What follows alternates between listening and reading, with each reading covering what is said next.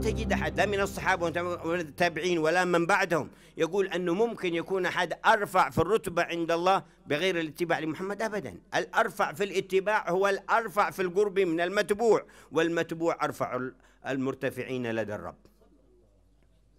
صلى الله عليه وصحبه وسلم. من كان أقوى في الاتباع هو أقوى في الارتفاع. من كان أقوى في الاتباع هو أقوى في الاتساع. من كان أقوى في الاتباع هو أقوى في الاطلاع. هذا المتبوع الأعظم. من رشحه للتبعية؟ رب البرية.